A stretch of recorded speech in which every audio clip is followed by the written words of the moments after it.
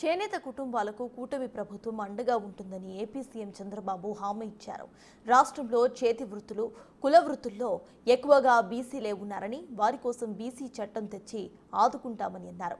August పదిహేనున రాష్ట్ర వ్యాప్తంగా అన్నా క్యాంటీన్లను ప్రారంభిస్తామని అన్నారు సీఎం. జగన్ పాలనలో భూ కబ్జాలు దోపిడీలతో పేదలు అవస్థలు పడ్డారని చెప్పారు. ఈరోజు నేను ఇక్కడికి వస్తానే ఒక రెండు షాపుల దగ్గరికి వెళ్ళాను. ఒకటి ఒకటి ఉప్పాడమ్మది ఉప్పాడ. ఉప్పాడ చీర కూడా నేను కొన్నాను ఇప్పుడే కొన్నాను. నేను ఎప్పుడూ చీర కొనలేదు కానీ మొట్టమొదటిసారిగా చేనేత కార్మికుల్ని ప్రోత్సహించడానికి మా మిస్సెస్ కూడా గుర్తొస్తే రెండు చీరలు కొన్నాను ఒకటి ఉప్పాడ ఒకటి ధర్మవరం అని చెప్పి నేను మీకు తెలియజేస్తున్నా. ఈరోజు ధర్మవరం ఆ ఉప్పాడ ఇవన్నీ కూడా మనకు కొన్ని క్లస్టర్స్ ఉన్నాయి. చీరాల కానీ మంగళగిరి శ్రీకాకుళం పొందూరు కద్దరు అప్పట్లో ఆ షాపు పోయి హైదరాబాద్లో ఉంటే ఎమ్మెల్యేలుగా ఉండి ఆ పొన్నూరు కద్దరు కొనేవాళ్ళం. ఇవన్నీ కూడా మనకు ఒక అరవై నాలుగు క్లస్టర్స్ ఉన్నాయి. ఎక్కడ చూసినా ఒక వంద కుటుంబాలు రెండు వందల కుటుంబాలు ఇప్పుడు కూడా పనిచేస్తున్నారు. నేను చెప్పిన మాటలన్నీ కూడా నిలబెట్టుకుంటాం. బీసీల కోసం ఒక ప్రత్యేకమైన చట్టం కూడా తీసుకొస్తాం.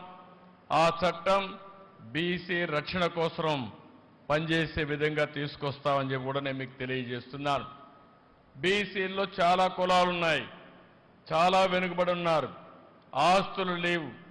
కుల వృత్తులు చేతి వృత్తుల ఆధారంగా ఈరోజు ముందుకు పోతూ వచ్చారు.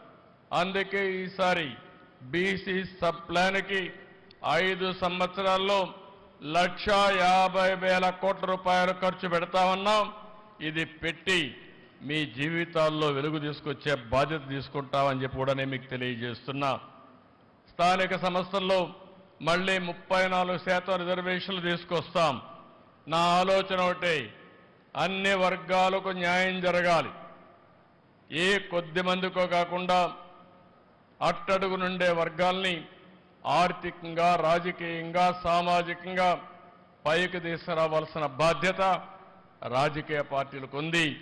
దాన్ని ఏ విధంగా చేయాలనో అనునిత్యం ఆలోచించి చేస్తామని చెప్పి కూడా నేను మీకు తెలియజేస్తున్నా. చట్టసభల్లో వెనుకబడిన వర్గాలకు ముప్పై మూడు శాతం రిజర్వేషన్ల కోసం అసెంబ్లీలో తీర్మానం చేస్తాం. పార్లమెంట్లో ఇది చట్టం అయ్యే వరకు మీ తరపు నుండి పోరాడతామని చెప్పి కూడా నేను మీకు అందరికీ హామీ ఇస్తున్నాను. ఇంకో పక్క నామినేషన్ పోస్టులో కూడా మీకు న్యాయం చేస్తాం. ఈరోజు మీరు చూస్తే టీడీపీ రాష్ట్ర పార్టీ అధ్యక్షుడిని స్పీకర్ని కూడా బీసీలకే ఇచ్చాం. మంత్రులను కూడా అగ్రస్థానం ఇచ్చిన party Telugu Desam party NDA government అని చెప్పి కూడా నేను గుర్తు చేస్తున్నాను. నేను ఆలోచించేది ఇంకొక విధంగా పీ ఫోర్ అనే విధానాన్ని పెట్టి ప్రభుత్వం ప్రైవేట్ ప్రజల భాగస్వామ్యంతో పేదరికాన్ని పూర్తిగా నిర్మూలించాలనేది. ఎక్కడ పేదవాడుంటే అక్కడ తెలుగుదేశం పార్టీ ఎన్డీఏ ప్రభుత్వం ఉంటాం. మీకు అండగా ఉంటాం. ఈరోజు నేను హామీ ఇస్తున్నా. ప్రతి సంవత్సరం చేనేత కార్మికులు ఉన్నారు ఎప్పుడు కూడా చేనేత కార్మికులు అన్ని రంగాల్లో వెనుకబడి ఉంటారు. ఒక సవాలుగా తీసుకుంటాం. సంవత్సరం సంవత్సరం మీ ఆదాయం ఎంత పెరిగిందో చెప్పే బాధ్యత తీసుకుని సంపద సృష్టించడమే కాదు పేదవాళ్ళకు అండగా నిలబడే విధానాన్ని తీసుకొస్తామని చెప్పి కూడా నేను మీకు తెలియజేస్తున్నా. నేను దీనికి ఒకే మాట చెప్పాను.